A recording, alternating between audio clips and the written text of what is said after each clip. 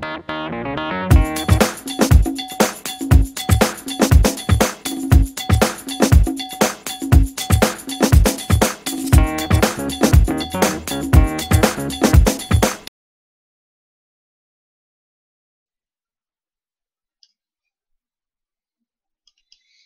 うも、くまはちです。無料テンプレートを使ったワードプレスホームページ制作シリーズ。今回は Beans というテーマをインストールします。えー海外のテーマなんですけどもね、初心者でも簡単にインストールできます。実際に管理画面を開いてやっていきましょう。はい。今回も新しいテーマをですね、えー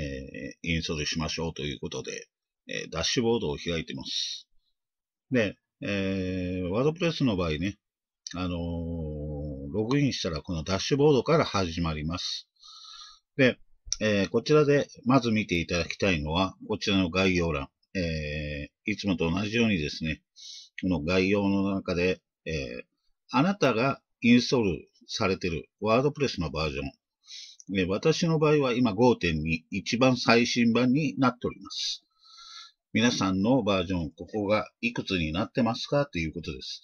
えーまだ5.2にアップデートされてなければ5.11、もしくはですね、えーもっと前のバージョンかもわかりません。えー CPI サーバーの方はインストールした状態が、えー今は4.9.10っていう風に出てるかもわからないですね。当たってましたか？はい。で、えーこちらの括弧内が今、えー適用されているテーマの名前が出てます。このリンクの部分ですね。2017。これが、えー、ワードプレス一番最初に設定されているテーマになります。2017っていうのがですね、ワードプレスの一番最初に適用されているテーマになります。違うテーマの方は、あのお願いした方が、えー違うテーマを入れられたっていうことになりますね。で、今回ですね、えー、Beans っていうね、あのテーマをちょっとインストールしてみようかなと思います。えー海外のテーマなんですけども、優れたデザインでありながらですね、軽量化を実現しているっていうことでですね、えー何が軽量化っていうのをですね、あのページを早く表示できるっていう部分で、あのこう、早く表示できるっていうことは軽いというふうに、あの、表現するんですね。はい。あのそういった中でですね、えーこの、Beans っていうね、テーマをですね、まず、あのインストールするところから始めてみたいなと思うわけでありますね。で、インストールするにはこの外観、テーマっていう形でね、えー新規追加。で、基本的にあの、私、Beans ダウンロードしてるんですが、こちらで出るのかな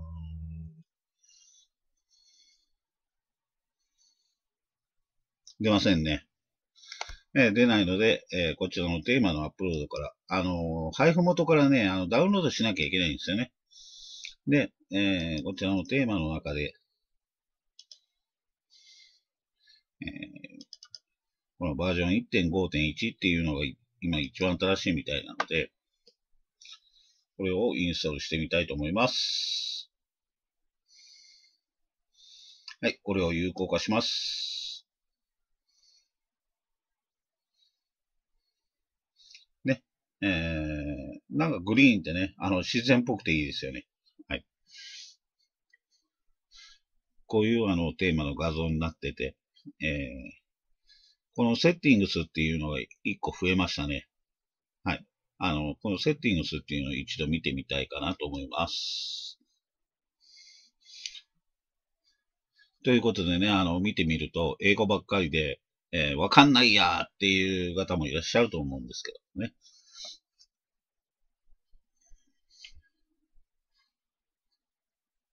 まあ、こちらの方はですね、えー、またおいおい私の方で、えー、アンチョコみたいなのを書いていきたいなと思います。はい。あのーまあ、ちょっと、いつまでにっていうお約束はできないんですけども、えー、まあ、英語を翻訳したようなブログページに、えー記載できるようになればいいなと思っております。まあ何分、あのー、ちょっとね、私、あのー、左手が不自由なもんで、えー、右手一本でややるもんで、えー、ちょっとお時間いただきたいかなと思います。で、えー、まあ、セッティングスこんな感じなんですけども、えー、カスタマイズはどうなってるのかなというところでですね、えカスタマイズを見ていきます。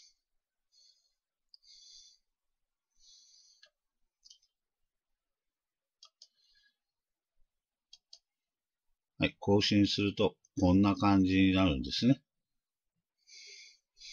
で、えー、ハローワールド、この、オーナーページがこう表示されているのがちょっと気になりますね。あの、これはちょっと表示しないような設定をちょっとしないといけません。で、えー、そんな感じでこ、こちらの方で、えー、設定するところがあるのかなというところで、ちょっと見ていきたいかなと思います。で、えー、まあ、この初めてのワードプレスっていうのは、これロゴに変更できるようですね。ここにロゴイメージをこう、アップデート、アップロードできるところがありますのでね。で、えー、次ですね。色。色は背景色。まあ、これ、ご多分にも漏れずですね。あの、こういうようになってるんですけども、えー、私は白が好きなので、白の場合はね、F を6個入れてください、シャープに。するとね、あの、白に変わりますから。で白に変わったの分かりますかね？まあ、グレーからね、白に変わってもね、あんまりちょっと分かりにくいんですよね。で、ヘッダー画像。えー、2000ピクセル ×500 ピクセルの画像を使うと最もうまくいきますと書いてます。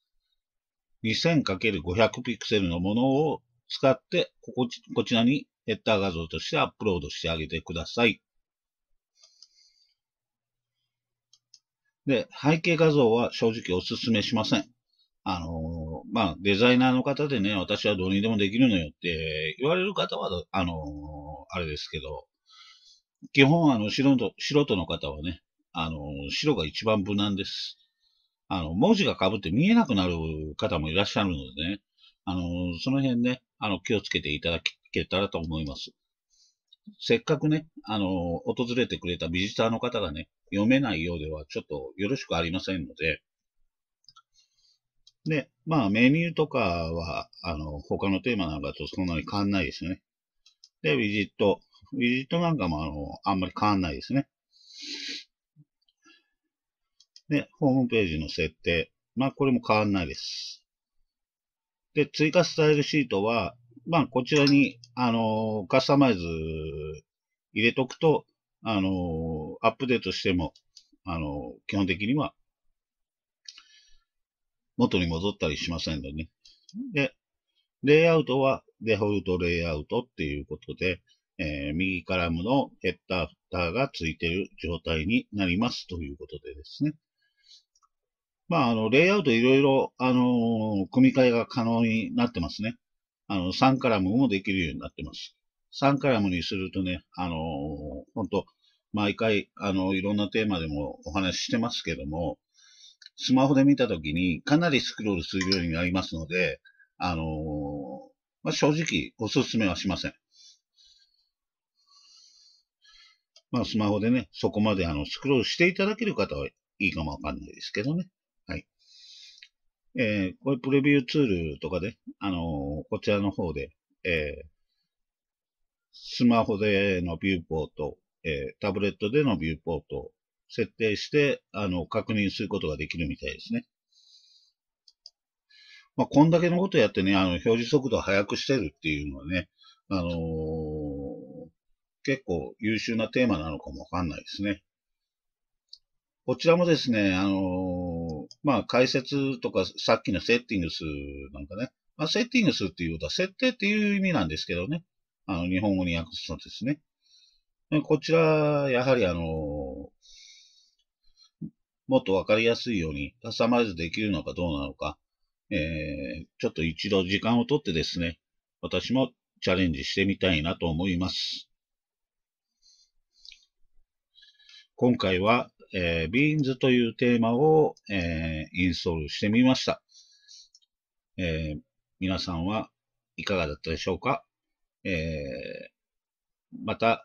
え、次回ですね、違うテーマを、え、インストールしてみて、ちょっと試してみたいなと思います。どうしても自信のない方は、熊八が優勝対応でサポートさせていただきます。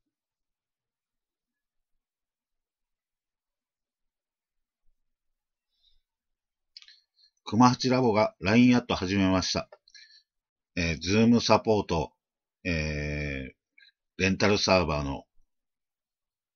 初期設定無料クーポン付きの LINE アットです。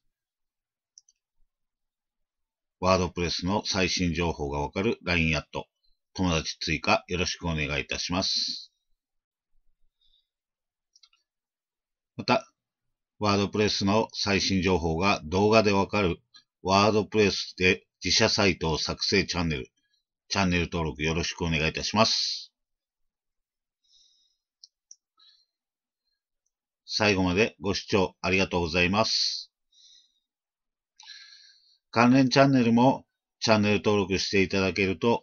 非常に嬉しいです。よろしくお願いいたします。